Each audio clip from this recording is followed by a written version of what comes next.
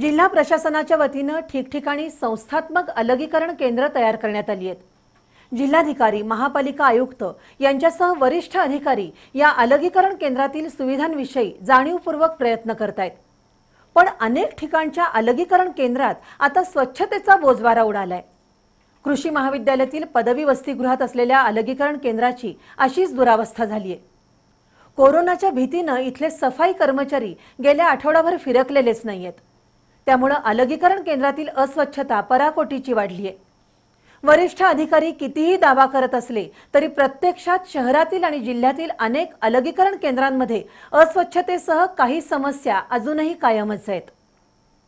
कृषी महाविद्यालयाच्या पदवी वसतिगृहात संस्थात्मक अलगीकरण केंद्र सुरू केलं असून इथं सुमारे त्र्याऐंशी नागरिकांना ठेवलंय. या केंद्राची इमारत निसर्गरम्य वातावरणात आहे पण सध्या अस्वच्छतेच्या विळख्यात आहे. कोरोनाच्या धास्तीनं सफाई कर्मचारी गेले आठ दिवस इकडं फिरकलेले नाहीत. त्यामुळे प्रत्येक खोलीत कचरा साठून राहिलाय. कचरा वेळच्या वेळी उचलला जात नाही स्वच्छतागृहांची स्वच्छता होत नाही काही रूममधील पंखे आणि दिवे बंद आहेत. त्यामुळं या अलगीकरण केंद्रात राहणाऱ्या नागरिकांची कुचंबणा होतीये.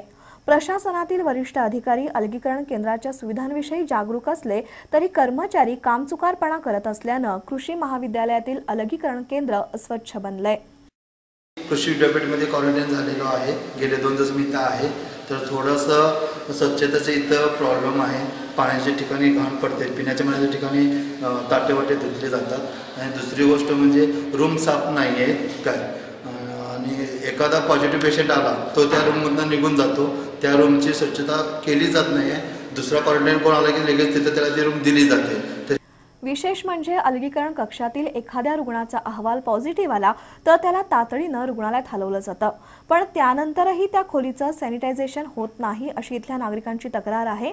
नाही म्हणायला बेड कव्हर उशांचे अभरे वेळच्या वेळी बदलले जातात. जेवणही वेळेवर मिळतंय. पण मुळात कोरोना रोखायचा असेल तर सार्वजनिक स्वच्छता महत्वाची आहे.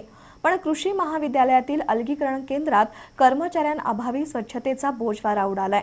दुसरीकडे अशा अलगीकरण केंद्रात राहणाऱ्या नागरिकांनी सुद्धा स्वच्छतेबद्दल दक्ष राहणं आवश्यक आहे कारण केर कचरा काही आभाळातून पडत नाही. नागरिकांच्याच बेफिक्रीमुळं अस्वच्छता वाढत असते.